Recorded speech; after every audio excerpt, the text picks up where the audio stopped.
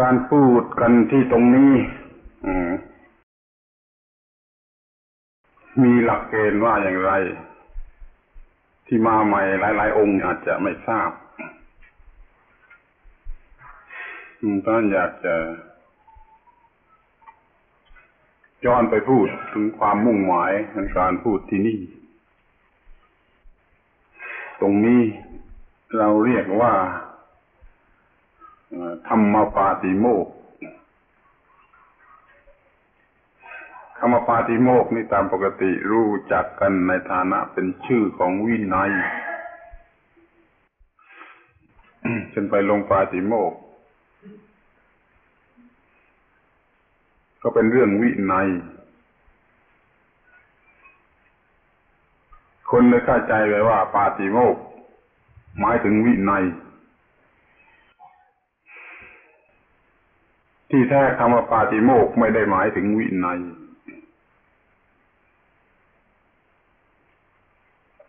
ก็หมายถึงใจความสำคัญ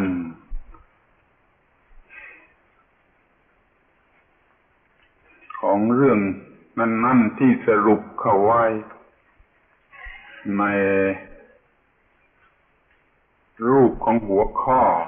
สั้น ๆรัดกุม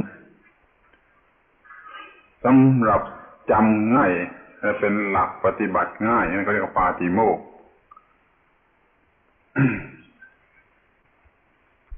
ก็อยากจะบอกให้ทราบเสียได้เลยว่า ชาวบ้านทั่วไปเข้าใจคำว่าปาติโมกผิดอยู่อย่างนี้คือถ้าเข้าใจว่าเป็นวินัยก็ได้ยินพระลงปาติโมกก็คือลงสวดวินัย ถ้ามันเป็นปาคำว่าปาติโมกในภาษาชาวบ้านเป็นอย่างนั้น ภาษาบาลีก็หมายถึงหัวข้อสำคัญที่ต้องเอามาพูดมาท่องมาจำมาปฏิบัติอย่างคำว่าโอวาทปาติโมกของพระพุทธเจ้า ในวันเพ็ญมาฆะนั่นนะโอวาทเหล่านั้นเป็นสามข้อสั้นๆ หรือขยายออกเป็นหกข้อ ก็เรียกว่าปาติโมกไงโอวาทปาติโมกคือหัวข้อของพระโอวาททั้งหมด สรุปเป็นเรื่องไม่ทำชั่วทำดีทำจิตให้บริสุทธิ์ในในในในหลักสำหรับศึกษาในการกระทำก็ว่าไม่ พูดร้ายไม่ทำร้ายสำรวมในระเบียบวินัยนั้นก็กินอยู่พอดี อยู่ในที่อันสงัด แล้วก็ทำจิตให้สูงให้ยิ่ง คือทำจิตให้เจริญอยู่เสมอ นี่ก็เรียกว่าปาติโมกเป็นเรื่องธรรมะคำปาติโมกเราหัวข้อสรุปที่ต้องกำหนดจดจำ ที่เราก็มีหัวข้อหรือปาติโมกฝ่ายธรรมขึ้นมาเป็นคู่กับวินัย พูดตรงนี้จะพูดเรื่องหัวข้อ ฝ่ายธรรมย้ำย้ำแล้วย้ำอีก ซ้ำแล้วซ้ำอีก คือเรื่องเกี่ยวกับตัวกูของกู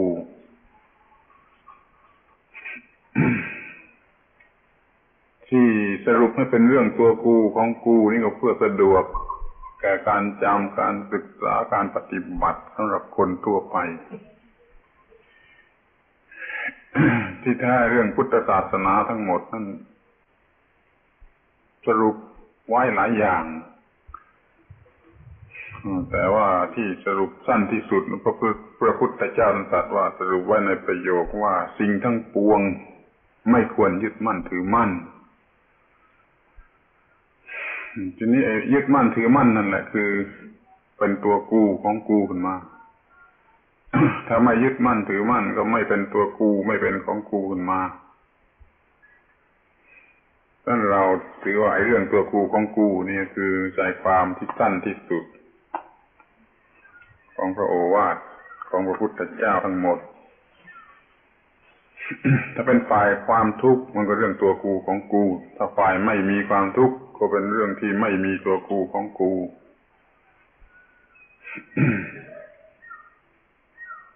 ที่เรื่องมีความทุกข์มันก็กระจายไปได้มากเรื่อง เราก็เอาเรื่องตัวกูของกูฝ่ายความทุกข์เนี่ย เอามาพูดกันที่นี่อยู่เสมอพร้อมทั้งเอาเรื่องตัวกูของกูฝ่ายที่ดับดับตัวกูของกูนั่นมาพูดกันอยู่เสมอ จึงเป็นว่าการพูดที่ตรงนี้ไม่มีพูดเรื่องอื่น นอกจากเรื่องตัวกูของกู ในแง่ใดแง่หนึ่ง ให้เข้าใจชัดเจนยิ่งขึ้นทุกทีเช่นครั้งที่แล้วมานี่เราพูดเรื่องอย่าไปค้นหาว่าใคร ใครผิด ใครถูก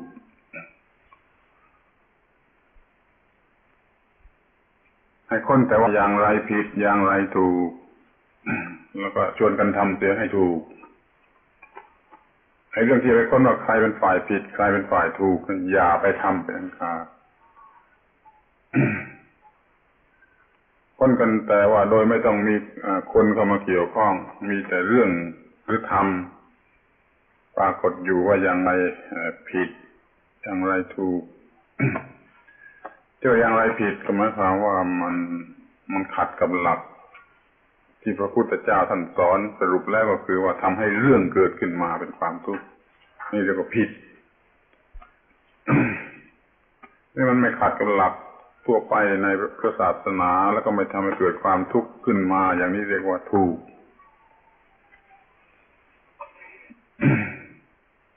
แม้พูดกันอย่างนี้ก็เป็นเรื่องตัวกูของกู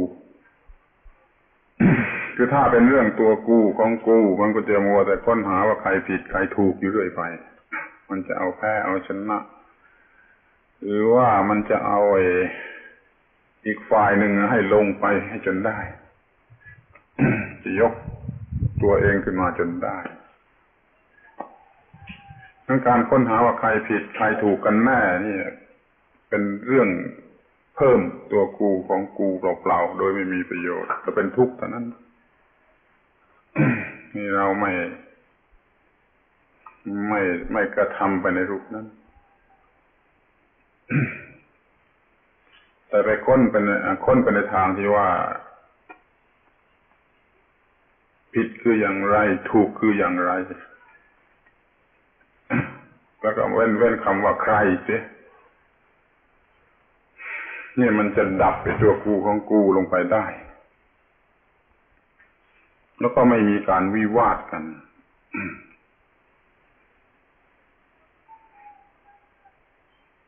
เหมือนกับเล่นกีฬานั่นแหละมันมีความผิดอยู่มาก ตรงที่ ไปต้องการผลว่าใครแพ้ใครชนะ ฝ่ายไหนแพ้ ฝ่ายไหนชนะ อย่างนั้นไม่ใช่กีฬา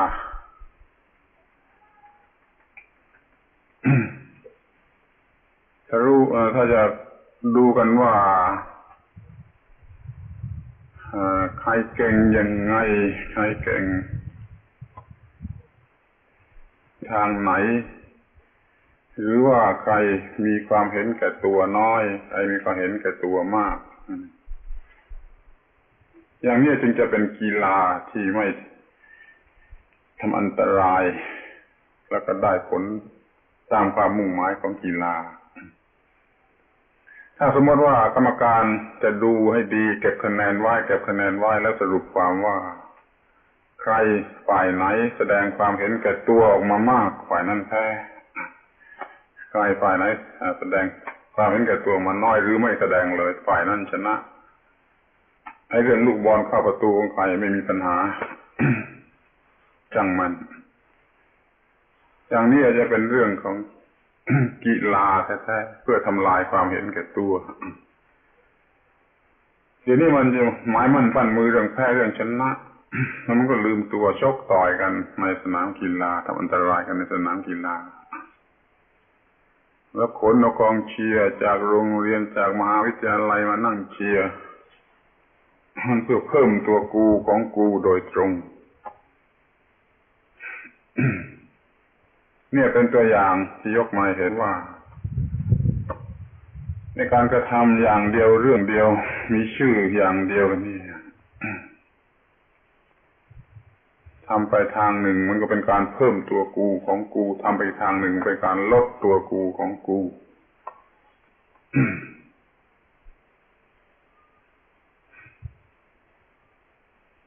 มันควรจะมี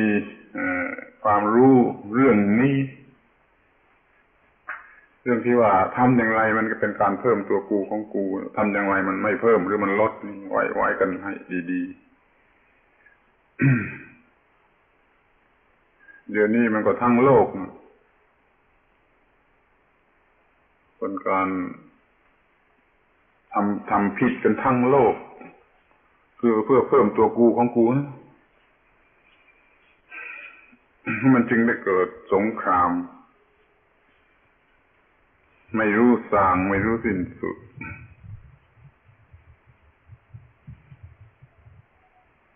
ถ้าไม่รู้เท่าทันเรื่องนี้ ไม่เลิกลัทธิอันนี้เสีย มันก็ไม่มีเวลา ที่จะยุติไอ้สิ่งที่เรียกว่าสงครามหรือการเบียดเบียนกันได้ก็จะเอาแพ้เอาชนะ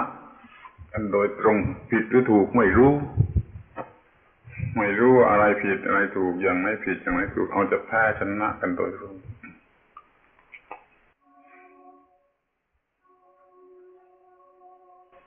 รู้ว่าอย่างดีที่สุดที่เขาจะทำได้ก็จะพิสูจน์ว่าใครผิดใครถูก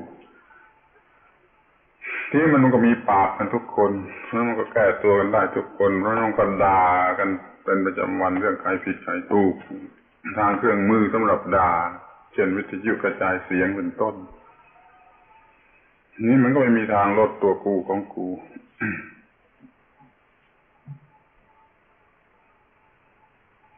โลกไม่ถือธรรมะในข้อที่ว่าอย่างไรเรียกว่าผิดอย่างไรเรียกว่าถูก อย่าไปค้นหาใครผิดใครถูกก็ไม่มีวันสิ้นสุดการทะเลาะวิวาท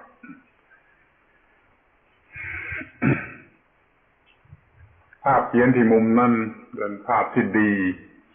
อยู่ภาพเกี่ยวกับเรื่องนี้ที่เด็กๆ ควรหน้ากันทะเลาะกันร้องกันกระจองงองแงถ้าเด็กอีกคนหนึ่งโผล่ขึ้นมาว่าไม่ต้องไม่ต้อง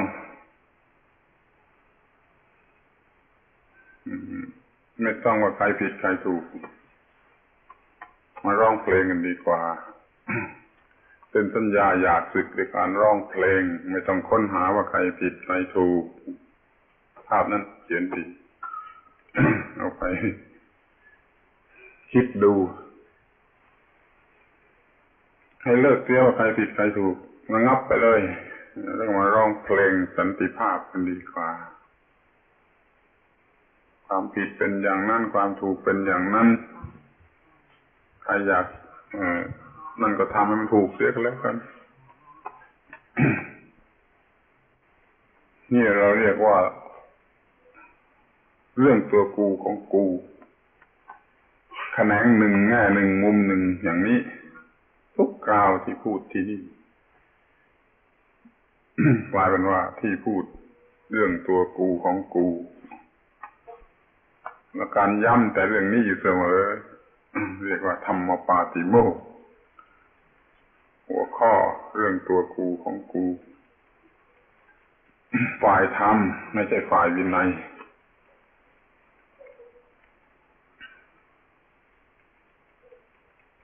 ไอ้เรื่องที่ผิดวินัยต่าง ๆ ทุก ๆ ข้อทุก ๆ สิกขาบท มันก็เรื่องเห็นแก่ตัวเหมือนกัน ไปไปตรวจสอบดูทุกข้อเพราะเห็นแก่ตัวจึงทำผิดวินัยข้อใดข้อหนึ่งในรูปร่างทำขังกัน ฆ่าเขาลักของเขาหลอกเขาหรือว่าทำสิ่งที่ไม่ควรทำที่จะรีดซื้อวินัยห้ามก็เป็นเรื่องเห็นแก่ตัวเท่านั้นเลยนั่นวินัยก็เป็นแขนงหนึ่งของธรรมคือเป็นธรรมส่วนที่ต้องจำเป็นต้องบังคับให้ทุกคนถือหรือกระทำเรียกว่าวินัยธรรมะส่วนนี้มันมีอยู่ก็เรียกว่าวินัย ที่นั้นธรรมะส่วนใหญ่หรือส่วนทั่วไปนั้นไม่ไม่บังคับมีแต่แสดงไหว้แล้วใครอยากจะดีอยากจะเจริญก็ปฏิบัติ ในส่วนนี้ไม่บังคับ เรายังคงเรียกว่าธรรมหรือพระธรรมอยู่ ส่วนใดจะเป็นการบังคับ เราเรียกว่าพระวินัย พระธรรมพระวินัยรวมกันเป็นพระธรรมวินัยสองเรื่องแฝดก็เป็นเรื่องธรรมด้วยกัน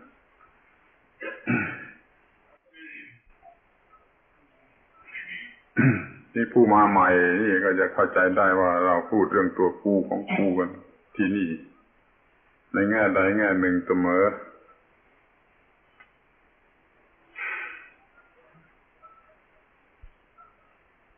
ในวันนี้จะพูดเรื่องตัวกูของกูอย่างนั้นตามเรียกว่าตามธรรมเนียมการพูดที่นี่ แล้วก็อยากจะพูดเรื่องความกลัวกันสักที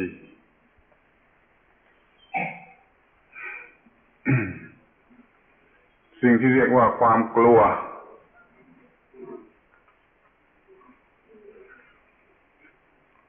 ก็เป็นความทุกข์แขนงหนึ่ง ซึ่งรบกวนความสุขของมนุษย์มาก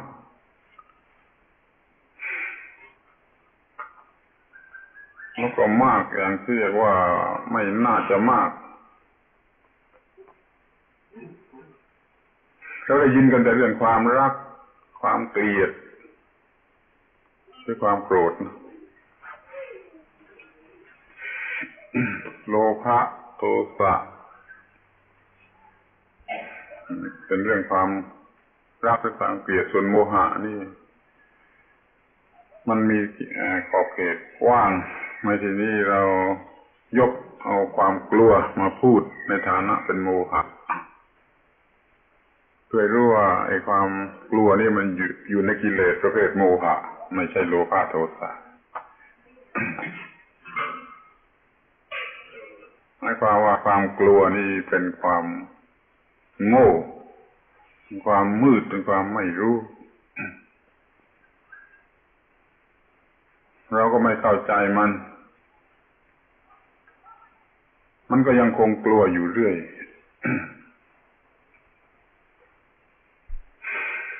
ไอ้ความรักคือความไม่รักคือโกรธ มันก็เป็นเรื่องตัวกูของกูเห็นชัดอยู่แล้ว รักก็จะเอามาโกรธก็จะทำลายออกไป มีมูลมาจากเรื่อง ที่จะเป็นตัวกูของกู หรือมันมาขัดขวาง ขัดคอเรื่องตัวกูของกูนะจะมีโลภะโทสะขึ้นมา ส่วนโมหะนี่มันโง่มันไม่ได้อยากจะเอาอะไรหรือไม่อยากไม่ได้อยากจะทำลายอะไร แต่มันก็โง่ จนกลัว จะเสียเสียสิ่งที่มีอยู่แล้วไป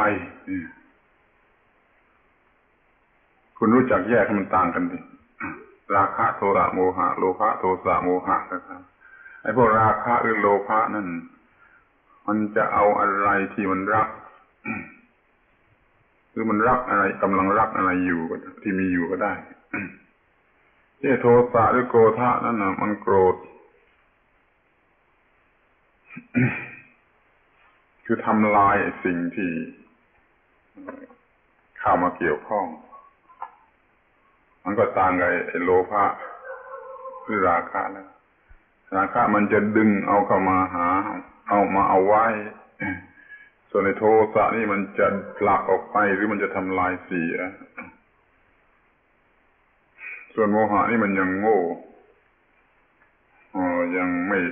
ไม่แน่ว่าจะรักหรือจะไม่รัก แต่มันก็กลัว ว่าจะเสียไอ้ของรักไป หรือว่าจะไม่ได้ทำลาย สิ่งที่เป็นศัตรูอย่างนี้เป็นต้นที่เมื่อดูได้เห็นว่าไอ้ความกลัวทั้งหมด มันขึ้นอยู่ที่กลัวตายขึ้นอยู่ที่กลัวความตาย นี่ต้องดูกันทีทีหนึ่งเซสชั่นหนึ่งก่อนว่ากลัวอะไรก็ตามมันจะสรุปไปอยู่ที่ว่าเรากลัว กลัวจะเสียชีวิต อะไรบ้างที่เรากลัว ที่มันน่ากลัว เช่นเสือเช่นอันตรายเช่นแม้แต่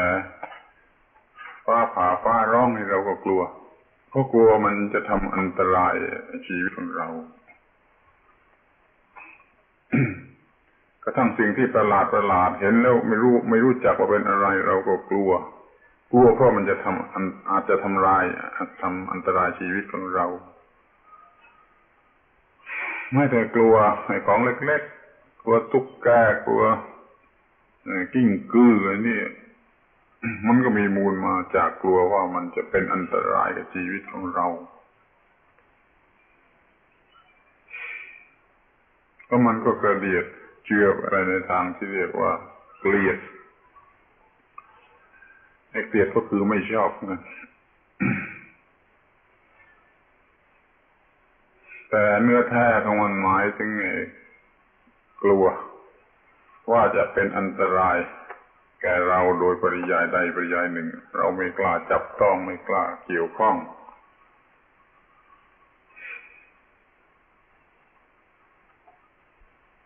จนกระทั่งถึงกลัว สิ่งที่ไม่เห็นตัว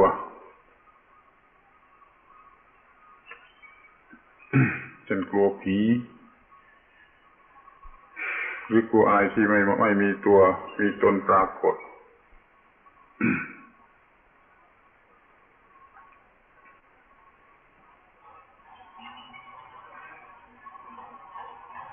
นี่ก็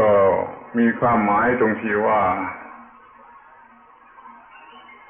กลัวว่ามันจะทำอันตรายแก่ชีวิตเหมือนกัน ที่เรากลัวผี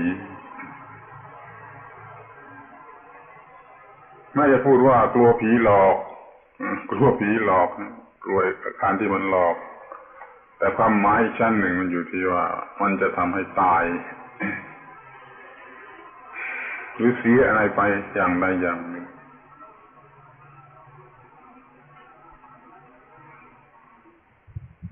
ที่สัญสัญชาตญาณของของสัตว์ที่มีชีวิต มันก็คือไม่อยากตาย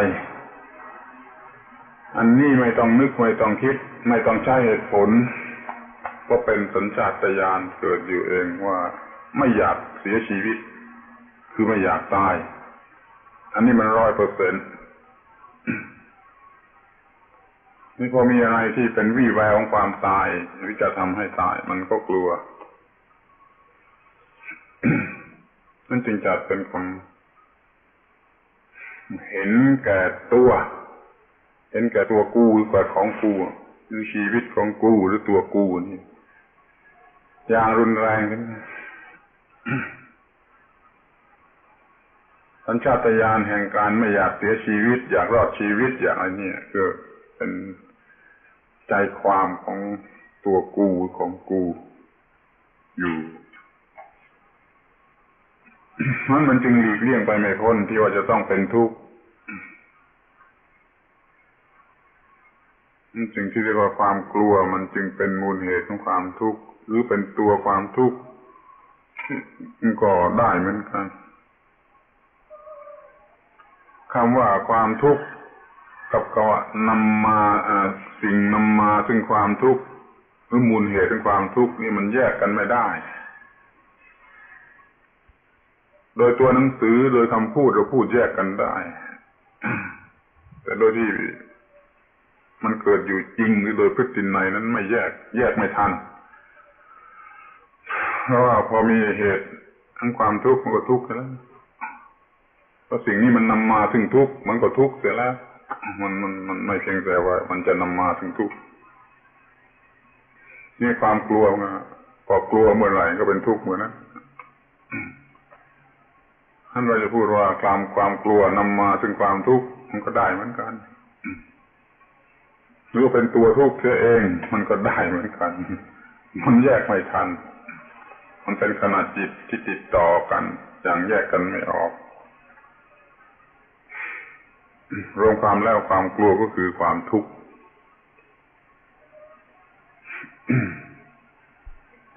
ที่คุณลองไปเปรียบเทียบกันดูว่าโอกาสที่จะรักกับโอกาสที่จะเกลียดกับโอกาสที่จะลัวนี่อันไหนมันมากน้อยกว่ากัน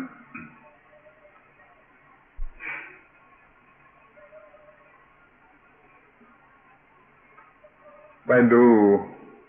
ไปสังเกตดูตนเองหรือสังเกตดูคนทั่วไป การอยู่ในสภาพที่คนทั่วไปเขาอยู่กันโอกาสที่จะรัก โอกาสที่จะไม่รักคือเกลียดนี่โอกาสที่จะกลัวนี่อันไหนมากกว่ากัน เรื่องนี้ก็ไม่ต้อง อืม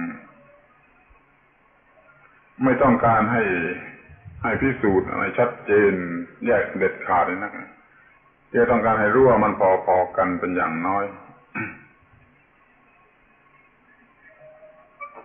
ไอ้ข้อที่เราต้องระมัดระวังอยู่ตลอดเวลา เนี่ย มันเป็นความรั่วเป็นปัญหาที่เราต้องระมัดระวังอะไรอยู่อย่างหนึ่งตลอดเวลา นี่เกี่ยวกับความรักหรือความโกรธนั่นมันก็เป็นเรื่องของความกลัว ต้องดูให้ดีด้วยเพราะว่าเรากลัวจะไม่ได้ของรักแล้าเรากลัวจะสูญเสียของรัก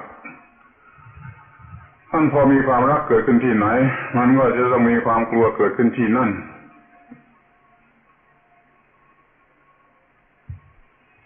เพราะว่าพอมีสิ่งที่ตัวรักมันก็มีความหวาดระแวงวิตกกังวลว่าจะสูญเสียของรักรู้ว่าก่อนแต่จะได้มา มันก็กลัวว่าจะไม่ได้เพราะตลอดเวลาที่หวัง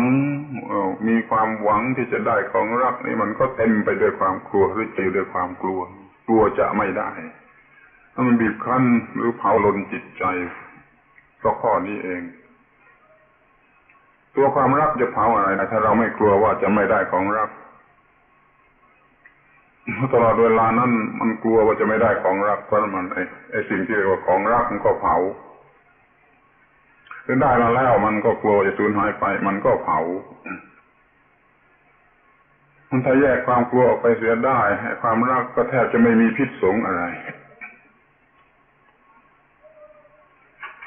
เรื่องความโกรธก็เหมือนกันนะ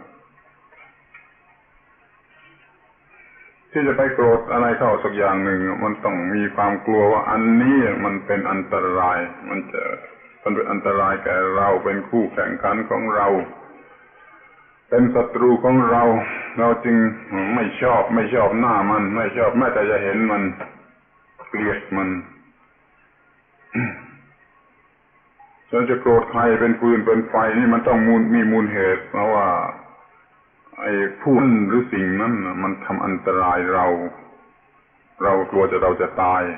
หรือมันจะทำลายของรักของเรา เราก็จะสูญเสียของรักถ้าเราจึงเกลียดมันหรือโกรธมันไว้แต่เนิ่นไว้แต่ล่วงหน้าพอมันแสดงอาการทำลายของรัก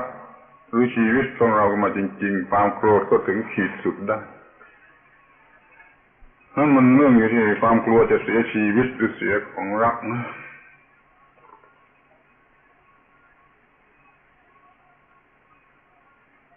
เพราในเรื่องของความรักหรือความโกรธ มันก็มีเรื่องของความกลัวอยู่เต็มที่ เป็นตัวที่ทำลายความสงบสุขมีเรื่องกลัวล้วนๆเช่นกลัวความมืดกลัว ผีกลัวอะไรเหล่านี้มันก็รวมอยู่ในข้อที่เชื่อหรือสงสัยหรือระแวงว่าไอ้นี่มันเป็นอันตราย มันจะทำอันตรายหรือจะเป็นอันตรายแก่เราผีหรือความมืดนั่นก็ตาม ส่วนสิ่งที่มันปรากฏชัดว่าจะทำอันตรายแก่เรา เช่นเห็นเสือเขาอย่างนี้ มันก็กลัวเสือเขาเขาเป็น มันก็มีความรู้อยู่ก่อนแล้วว่า เสือนั่นเป็นอันตราย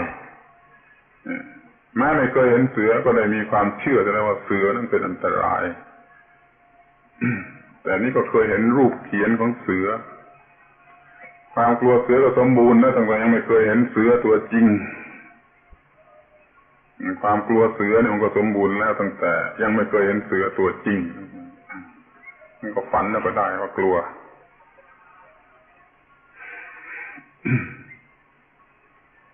นี่ความกลัวมันจึงมี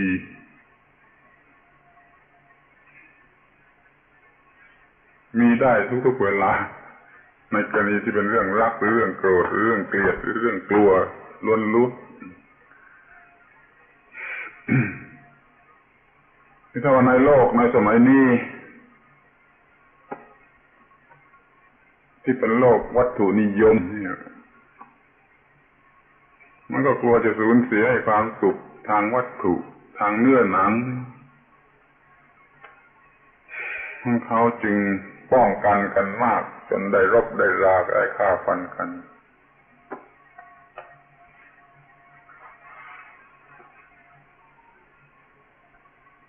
ฝ่ายที่เป็นเจ้าของวัตถุหรือเอาวัตถุไว้มากเนี่ยจะต้องกลัว ฝ่ายที่ไม่มีวัตถุ เช่นฝ่ายนายทุนนี่ต้องกลัวกรรมกร เพราะกรรมกรจะเป็นผู้ยื้อแย่งวัตถุ กรรมกรก็ไม่ค่อยมีเรื่องที่ต้องกลัวอะไรนะนั้นจึงพูดได้ว่าใครยึดมั่นถือมั่นไว้มาก คนนั้นจะต้องมีความกลัวมาก ใครมีตัวกูมีของกูมาก คนนั้นจะต้องมีความกลัวมาก อันพวกฝ่ายนายทุนจึงเป็นฝ่ายที่นอนไม่หลับ เพราะว่ามีตัวกูของกูมาก แล้วก็มีความกลัวมาก ฝ่ายชนกรรมติมีน้อยหรือไม่มีมันจึงนอนหลับ เนี่ย สงครามในโลกปัจจุบันนี้ระหว่างนายทุนกับชนกรรมาชีพมันก็มีความหมายอย่างนี้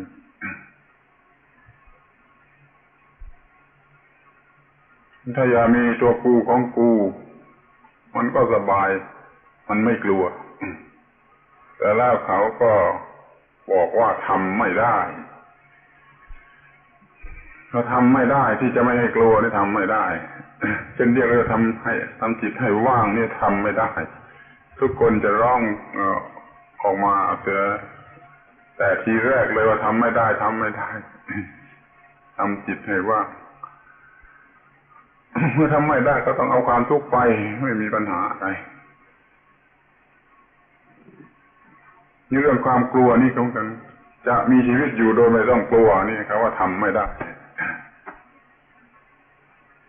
ทำไม่ได้มันก็ถูกแล้วเพราะว่าตามธรรมดามันทำไม่ได้ ตามธรรมดาคนเราจะละตัวกูของกูไม่ได้แล้วจะเป็นคนธรรมดาอย่างนั้นอยู่เรื่อยไปหรือยังไง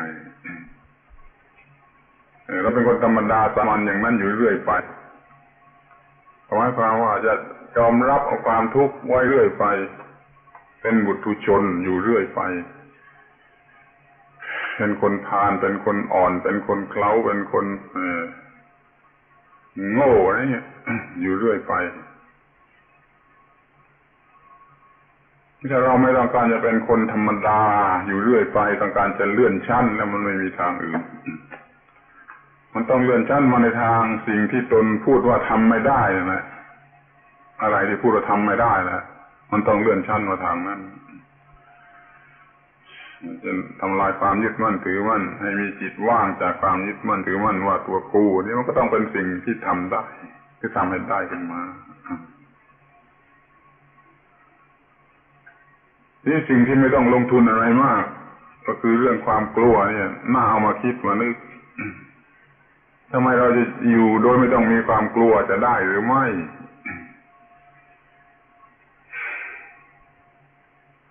เราจะมีชีวิตอยู่โดยความกลัวไม่รบกวนเลยที่จะได้หรือไม่ มันก็ต้องได้เพราะว่ามีคนทำได้พระอรหันต์โดยเฉพาะเป็นผู้ที่ทำได้ โดยมีความกลัวเด็ดขาด หายไปขาดตอนไปขาดศูนย์ไปอย่างเด็ดขาดเลยที่เราไม่เป็นพระอรหันต์จะถือว่าทำไม่ได้ หรือว่าจะทำได้ บางส่วนหรือว่าทำได้ตามที่จะทำได้ เราก็อาจจะคิดเห็น ได้ด้วยเหตุผลของมันเส้นของเราเองว่า ไอ้ความกลัวนี่เป็นความโง่เหมือนที่พูดมาแล้วตอนว่าความกลัวนี่ไม่ใช่อะไรนอกจากความโง่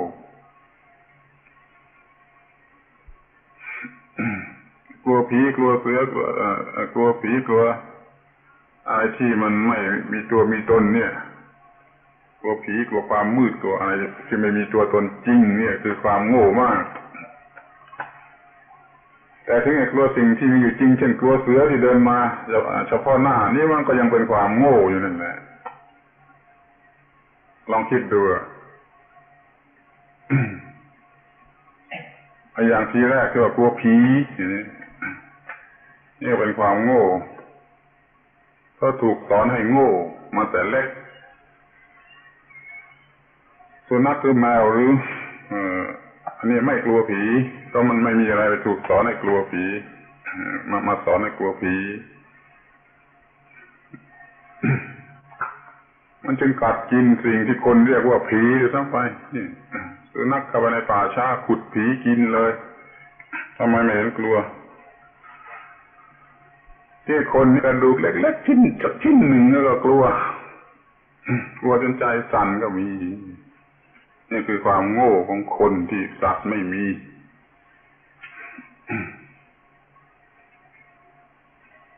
ไอ้โครงกระดูกที่แขวนอยู่ที่ศาลาเป็นเป็นตัวอย่างที่ดี ที่คนกลัวแล้วบางคนก็หายโง่ก็ไม่กลัว ทีแรกเอามากลัวทั้งนั้นนะนี่ผมจะเล่าให้ฟังอีกครั้งหนึ่งว่า เมื่อเอาโครงกระดูกมาใหม่ ๆ มาแขวนไว้ที่นั่นพอรู้ไปถึงคนนั่นคนนี้ก็มาดูกัน แล้วครูก็พานักเรียนมาศึกษาจำนวนหนึ่ง สามสี่สิบคน นี่ในนักเรียนสามสี่คนนั่นมีต่างๆกัน นนักเรียนสองสามคนกอดเสาอยู่ที่บันไดตรงที่บันไดไม่ไม่ไม่กล้าย่างขึ้นมาชั้นบนกอดเสากลัวตัวสันแล้วกลัวจริง ๆด้วย แต่ว่าตาก็ยังอยากจะดูที่นักเรียนส่วนมากก็ยืนอยู่ห่างๆแล้วก็นักเรียนจำนวนน้อยเข้าไปใกล้มาก แล้วมีนักเรียนสองคนหรือไม่เกินสามคนนี่กล้าจับต้องแล้วก็มีนักเรียนคนเดียวนะที่กล้าเอาหัวดุนเข้าไปในระหว่างโครงกระดูกให้โครงให้โครงกระดูกแต่ต้องเขากอดเขาเหมือนกับเด็กๆก็ยังต่างกันอย่างนี้ความกลัวเพราะโครงกระดูกก็อันเดียวกันชิ้นเดียวกัน แล้วเด็กไอ้สองสามคนที่ว่าตัวตัวสั่นอยู่ที่เชียงบันไดนั่นกลับไปถึงบ้านยังเป็นค่ายตลอดคืนไอ้เด็กพวกหนึ่งก็ไม่เป็นไรนัก ไอ้เด็กที่ไม่กลัวเลยก็ไม่เป็นอะไรเลย ตรงกระดูกกันเดียวกัน แต่ว่าเพราะความโง่ที่มีอยู่มากน้อยกว่ากัน จึงมีปฏิกิริยาต่างกันหลายชนิดหลายชั้น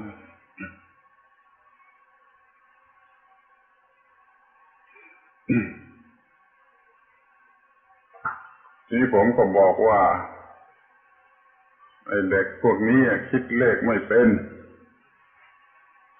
คิดเลขไอ้ชั้นชั้นแรกที่สุดไม่เป็น ถ้าคิดเป็นมันก็จะต้องคิดได้ว่าในเราเนี่ยมีโครงกระดูกที่นั่นครบเหมือนกัน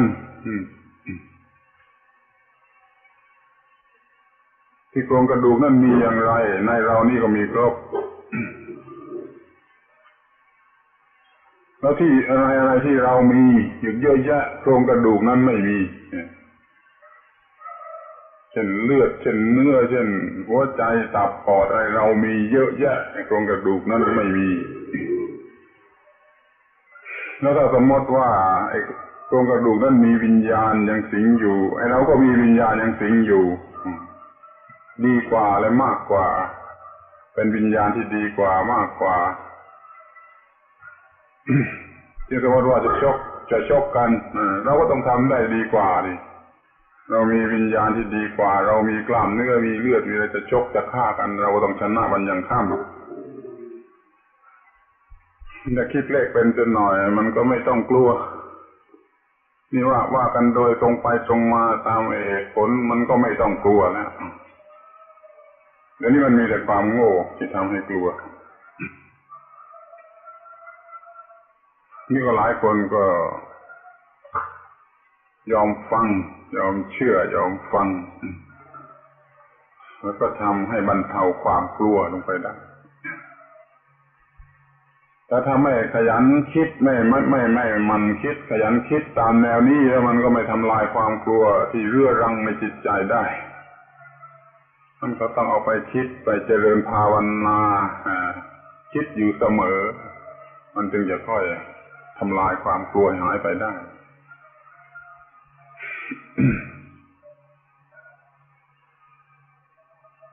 ที่ไอ้เรื่องไม่มีตัวตนนั่นมันก็ดูเป็นเรื่องง่าย ที่จะทำลายความกลัว ที่ไอ้เรื่องที่มีตัวตนจริง เช่นกลัวเสือกลัวงูกลัวฟ้าผ่าลงมา ถูกตายอะไรเนี่ยนี่กลัวไอ้สิ่งที่มีตัวจริงอยู่นี่ มันก็ยังยากขึ้นไปกว่าเพราะมันมีอารมณ์ กลัวนั่นมากกว่า มันมันปรากฏอยู่เฉพาะหน้าแต่ถึงอย่างนั้นมันก็น่าจะมองไปในแง่เดียวกันนะว่าเรายังมีความโง่ เราจึงต้องลำบากเพราะความกลัว เราไม่กลัวเสียไม่ดีกว่า มันจะเป็นอย่างไรเราก็ไม่กลัวจะไม่ดีกว่า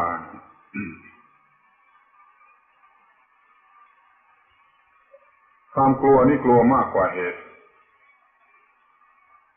กลัวมากกว่าต้นเหตุแห่งความกลัว พอเห็นเห็นนิมิตเห็น ไอ้วัตถุหรือเห็นในสิ่งที่กลัวแล้วก็ มันก็กลัว แล้วมันอาจจะคิดไปล่วงหน้าตลอดกลัวก็ได้ โดยที่ สิ่งนั้นไม่ได้ทำอันตรายเราเลยสมมติว่าเราเห็นเสือปลอมที่ไม่ใช่เสือจริงที่เขาทำหลอกเราเนี่ย ในป่าในที่ที่เราเชื่อมีเสือ เราก็กลัวเท่ากับกลัวเสือ จริงๆ นี่ไอ้รูปหลอกมันทำให้คนกลัวจนเป็นค่ายเป็นอะไรได้แล้วในความกลัวนั้นมันไม่ไม่ไม่ได้เกิดจากของจริง อย่างที่เราคิดนะมันเกิดจากความโง่ที่เราสร้างอะไรขึ้นมาอีกอันหนึ่ง เช่นเช่นเสือปลอมที่เราคิดว่าเสือจริงเราก็สร้างเสือจริงขึ้นมาในจิตใจแล้วเราก็กลัวในการสร้างมโนภาพอุที่เรียกว่า imagine imagination ขึ้นมานี่นี่เป็นตัวร้าย เป็นตัวการตัวร้ายที่สุดที่ทำให้เกิดความกลัว ถ้าทำลายอันนี้ได้ก็ความกลัวก็ไม่มีมีไม่ได้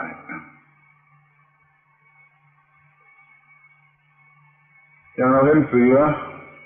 เราก็ต้องมีไม่จินว่ามันจะกัดเราหรือมันกัดเราแม้ว่าเสือปลอมมันก็มีไม่จินมันจะกัดเราที่เราเห็นเสือจริงนะแต่เสือตัวนั้นมันไม่กัดใครธรรมดาสัตว์หรือเสือมันไม่ได้กัดใครเสมอไป แต่เราก็กลัว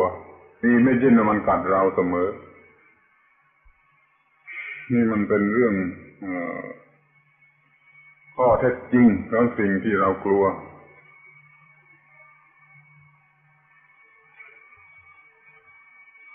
มันสร้าง มันสร้างภาพ ที่ทำให้เรากลัวขึ้นมาโดยอัตโนมัติ โดยตัวมันเอง โดยไม่ต้องเจตนาแล้วมันก็ครอบงำจิตใจที่เป็นสติปัญญาหมด สติปัญญาไม่มีเหลืออยู่เลย ตอนนั้น มันก็ต้องกลัว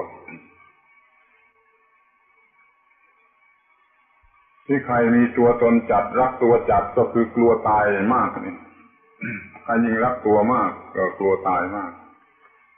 รักทรัพย์สมบัติมากก็กลัวตายมาก รักลูกรักเมียมากก็กลัวตายมากส่วนคนที่มีความรักชนิดนั้นน้อยมันก็กลัวตายน้อย เห็นเสืออย่างเดียวกัน คนหนึ่งมันกลัวน้อย คนหนึ่งมันกลัวมาก ไม่แน่นอน บางคนเกือบจะไม่กลัวคนที่เขากล้าเป็นพรานหรือเป็นอะไรก็เกือบจะไม่กลัวหรือถ้าเขาดีกว่านั้นอีกเขาก็ไม่กลัวเพราะเขาไปมัวคิดแต่จะยิงเสือเลยลืมกลัวเสือไปเสีย อย่างนี้ imagination อันอันพื้นฐานมันถูกครอบงำไปหมด ไม่มีปรากฏ มันเหลือแต่ว่ากูจะยิงมึงก็ไม่มีความกลัว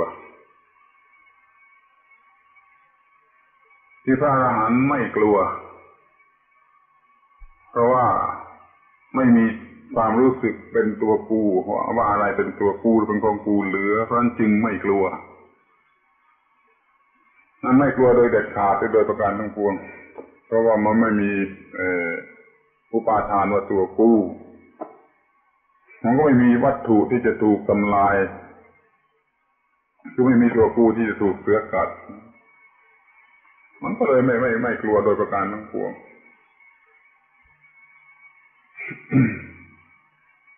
ทีนี้มันเต็มอยู่ด้วยสติปัญญา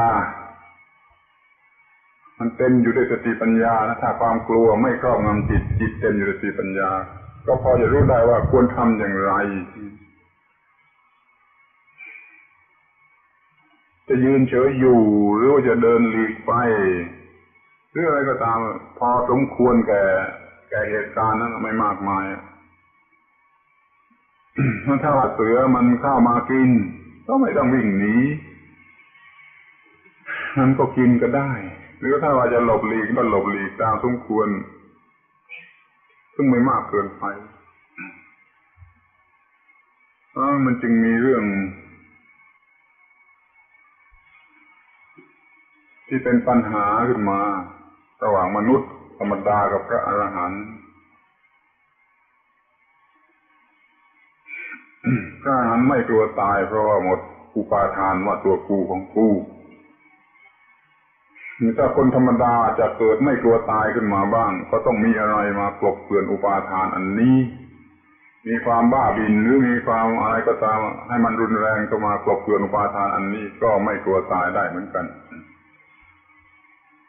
เช่นว่าเป็นนายพรานจะยิงเสือ มันก็มัวกลัวตายอยู่ไม่ได้ มันมีเอาอีกอันหนึ่งมากลบเกลื่อนอุปาทานอันนี้ไม่ไม่ทำหน้าที่กลัวหรือคนบ้า บางชนิดอาจจะไม่กลัว มันเป็นบ้าบินมันอาจจะไม่กลัว มันจะถึงกับว่าอยากจะชกเสือต่อยเสือดูให้คนดูก็ได้ มันก็ไม่กลัวก็ได้ในการที่ไม่กลัวนี่มันมี หลักอยู่ที่ว่าอุปาทานว่าตัวกูของกูเนี่ย มันไม่ได้ทำหน้าที่ก็ไม่ไม่มีจะทำหน้าที่หรือเพราะมันไม่ได้ทำหน้าที่ ถ้ามีอุปาทาน มันอุปาทานไม่มีโอกาสทำหน้าที่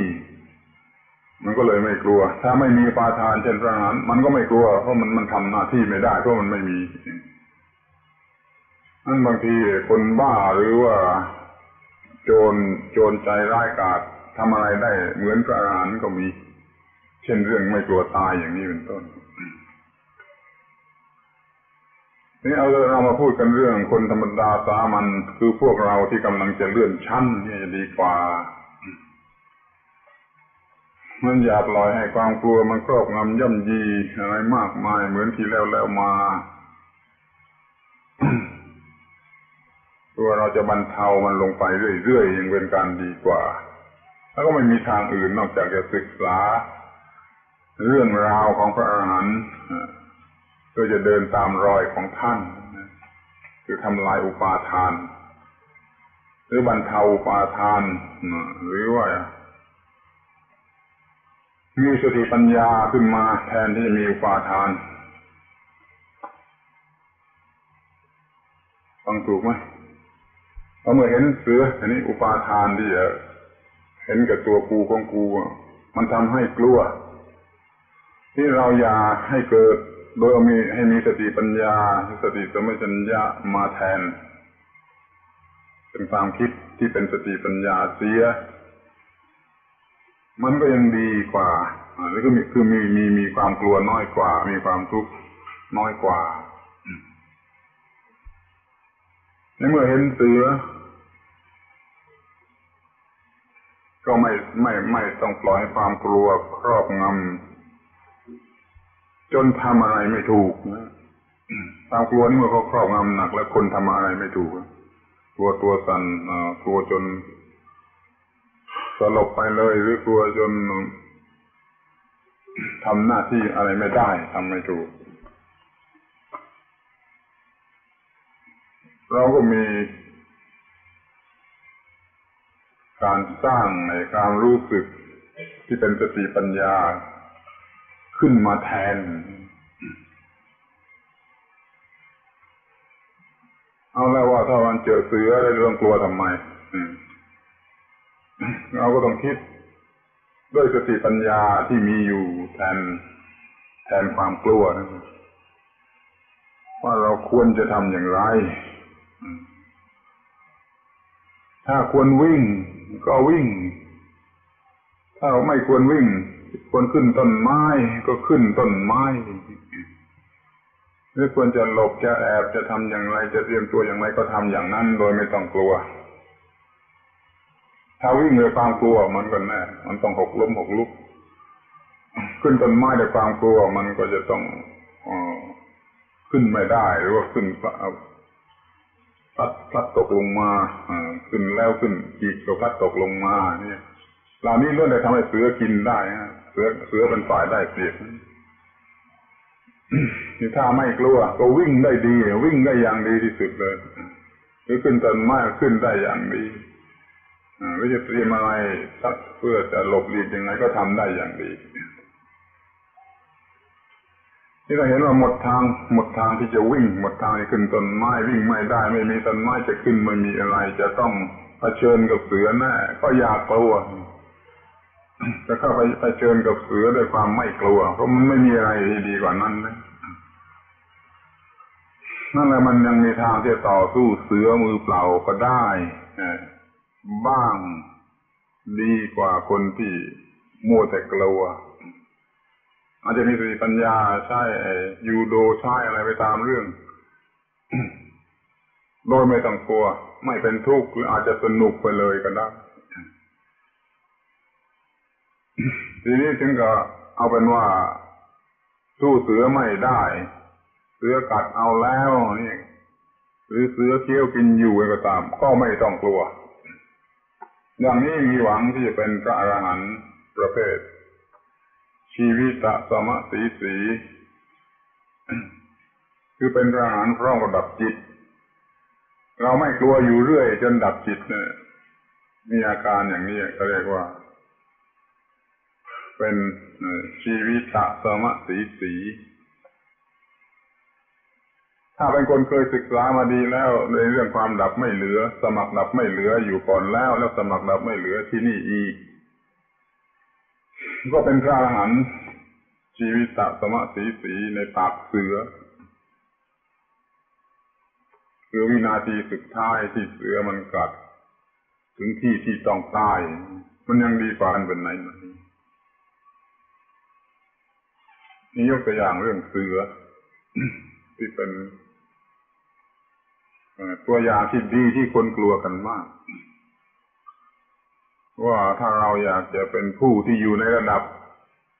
ที่เลื่อนชั้นขึ้นมาบ้าง ไม่ใช่คนพาลหรือบุตุชนเกินไป มันก็ควรจะเป็นอย่างนี้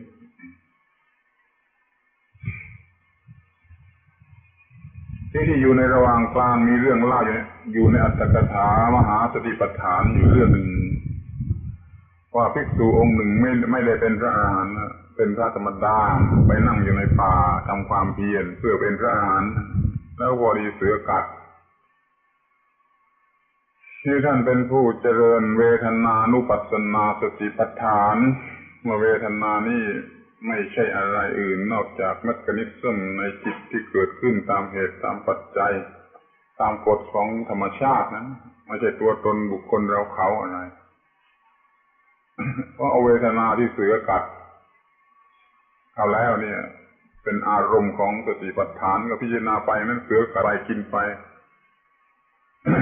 พระภิกษุองค์นี้ก็ ก็เรียกว่าแบ่งกำลังจิตคือเพิ่มกำลังจิตให้แรงพอที่จะพิจารณาอย่างนี้อยู่อยู่เรื่อยไป พิจารณาไปกลางเพื่อกินไปกลางจนถึงวินาทีสุดท้ายคือมันไปกินสูบที่ทำให้ต้องตาย ก็เป็นพระอรหันต์เหมือนกัน ประเภทชีวิตสมะสีสี ถ้าเราจะต้องเผชิญกับสิ่งที่กลัว ที่เคยกลัว หรืออันตรายที่ทำให้เสียชีวิต ก็ควรจะไม่กลัวหรือกลัวน้อยกว่าคนอื่นก็ถือโอกาสนั่นเป็นโอกาสที่จะได้เป็นพระอรหันต์นี่มีกำลังใจมานี่ให้เป็นพระอรหันต์พร้อมกับการตายยังดีกว่าที่จะไม่เป็นพระอรหันต์เลย ถ้าว่ากลัวกลัวกลัวกลัวทำอะไรไม่ถูก มันก็ตายโหงผสมน้ำหน้าของคนโง่ ตายโหงคือว่าตายโดยไม่อยากตายทั้งคนแท้ทั้งหมดตายโหงเพราะตายด้วยความไม่อยากตาย ถ้ามีอะไรมาทำให้ต้องตาย มันก็ตายโหงไม่มีสติสัมปชัญญะตาย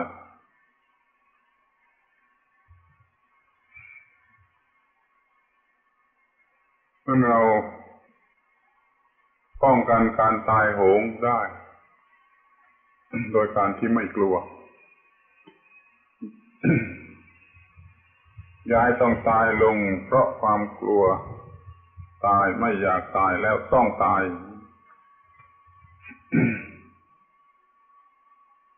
พอมีอะไรเกิดขึ้น ก็มีสติสัมปชัญญะทันท่วงที แม้ในกรณีที่เรียกว่าอุบัติเหตุลูกระเบิดลูกระเบิดตกลงมา หรือรถไฟชนกัน หรืออะไรก็ตามอุบัติเหตุต่างๆเราก็ควบคุมสติได้ ถ้าเผื่อมันต้องตายก็ตายอย่างคนมีสติไม่ตายโหง เหมือนกับว่าตายกันทั้งกระบวนรถชนกัน มันตายโหงหมด เพราะมันไม่ไม่อยากตายแล้วเอะโวยวายตายตรงไฟส่วนเราไม่ปล่อยตายโหงกับเขา มีสติสมัชัญญะ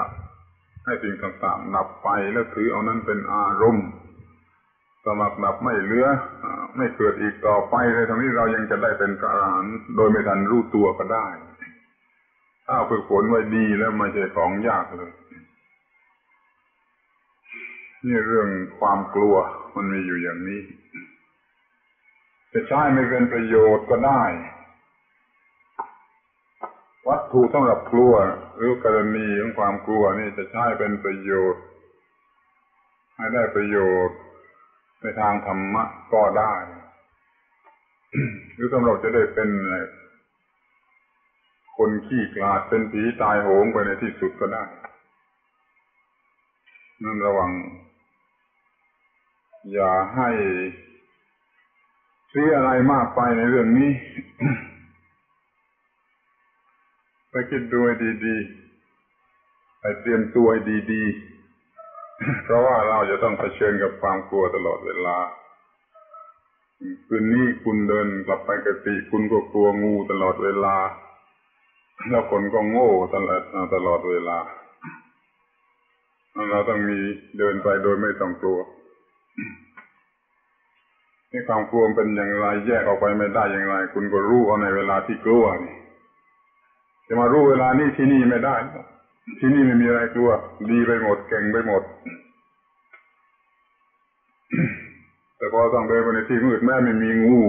คุณก็กลัวว่ามันมีงูอยู่ตลอดเวลา แล้วก็ไปรู้เองว่ามันแยกออกไม่ได้จากจิตใจอย่างไง ถ้าเราปล่อยไปตามธรรมดาของคนที่ไม่รู้อะไร ถ้าเราเป็นลูกศิษย์พระพุทธเจ้า เราควรจะมีอะไร ที่แยกออกไปได้กันออกไปได้ หรือไม่กลัวเลยแล้วก็มีสติปัญญาที่จะป้องกันไม่งูกัดด้วย หรือว่าถูกงูกัดแล้วยังได้ประโยชน์จากการกัดนั้นอีกมากมายในวิธีเดียวกัน คือการทราบข้อเท็จจริงของธรรมชาติของชีวิตของในโลกของสังขารแล้วก็ไม่ได้หมายความว่านี่จะสอนให้ไปหาเสือให้เสือกัดหรือไปให้งูกัด ต้องการจะเพียงปล่อยไปตามเรื่องตามราวตามธรรมชาติ แล้วเราก็มีสติปัญญามีความรู้พอที่จะศึกษา แล้วก็ถือเอาสิ่งเหล่านั้นเป็นบทเรียนเป็นบทศึกษา แล้วก็วัดตัวเองเรื่อยๆไป รู้ตัวเองเรื่อยๆไป ในการที่จะสูงขึ้นสูงขึ้นในทางจิตใจ เกี่ยวกับกิเลส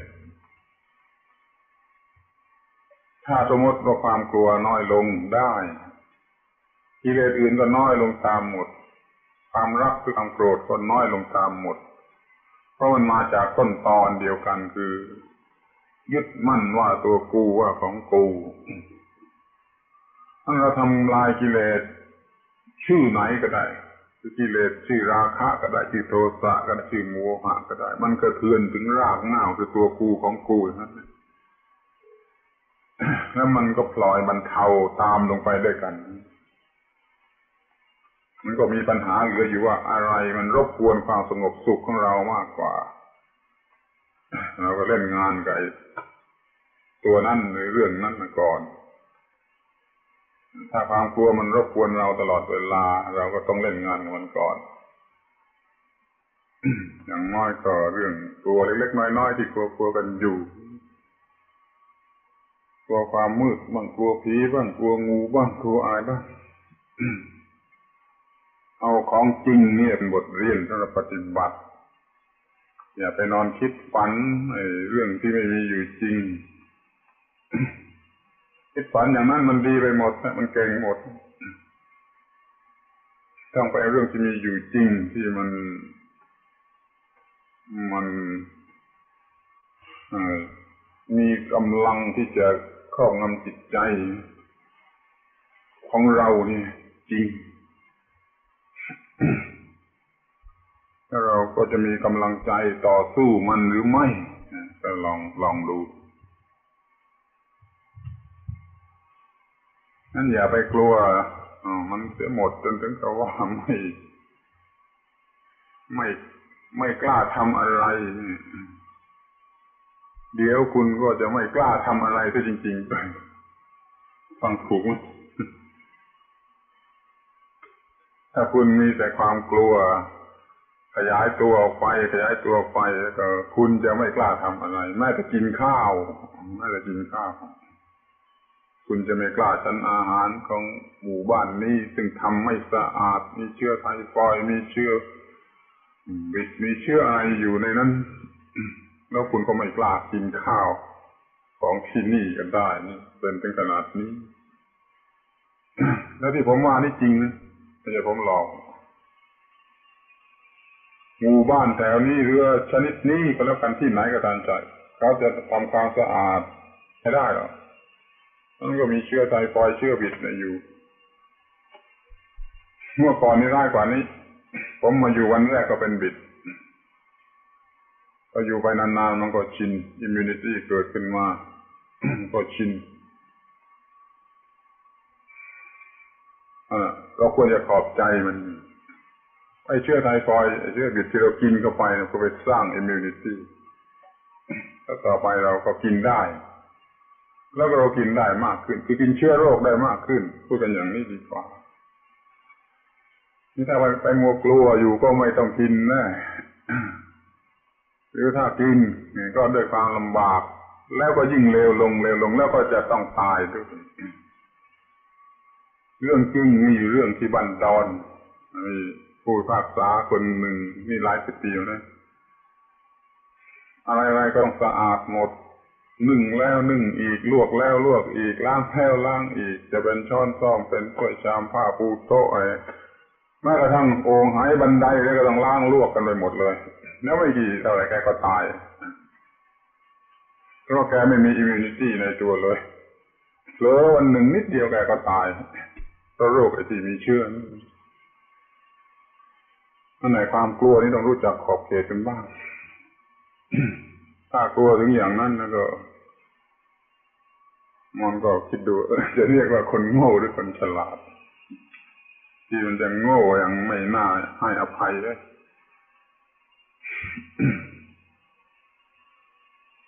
แล้วเราควรจะขอบใจสิ่งที่ทำให้กลัวสิ่งที่มาทำให้เรากลัวเราควรจะขอบใจมัน เพราะมันทำให้เราเก่งขึ้น เก่งขึ้นเป็นขึ้น ถ้าเรามีสติปัญญาต้อนรับมันโดยลูกไม้หรือผลเม็ดของพระพุทธเจ้านี่คือถือเอาเป็นบทศึกษาที่จะรู้ว่าเวทนานี้สักว่าเวทนาใช่สัตว์บุคคลตัวตนเราเขาแล้วเราก็เป็นผู้ได้รับประโยชน์มากที่สุดจากสิ่งที่เขากลัวกันพระอรหันต์เขามีคำเรียกหลายหลายหลายคำ เช่นอัดจฉมพีไม่สะดุ้งอนุตตราสีไม่ขนไม่ลุก ไม่ขนเอ่อไม่ไม่หวาดเสียวถ้ามีคำอย่างนี้ ไม่มีขนลุกไม่มีอะไรด้วยความกลัว มีขนอันตกสนิทอยู่ตลอดเวลาก็เพราะว่ามันหมด หมดความ คัญที่เป็นตัวกูของกู หมดตัวกูของกูที่เป็นความรู้สึกที่จะเกิด ที่พร้อมที่จะเกิดเนี่ยมันก็หมดความกลัวเรื่องตัวกูของกูเป็นเรื่องเดียวที่สำคัญที่สุด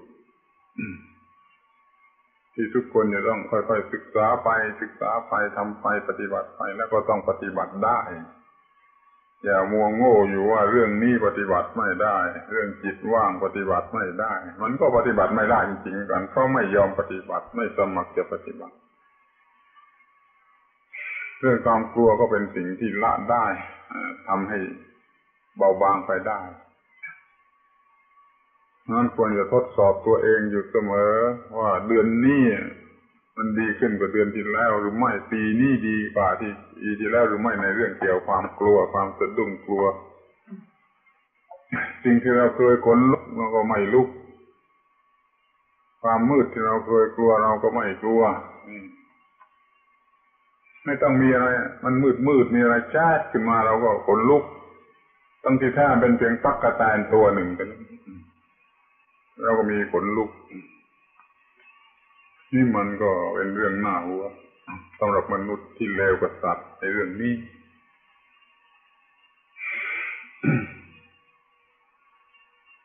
นี่คือว่าปาธรรมปาติโมก ที่ตรงนี้ไม่พูดเรื่องอะไร พูดแต่เรื่องที่เกี่ยวกับตัวกูของกูอย่างเรื่องเดียวเรื่อยไป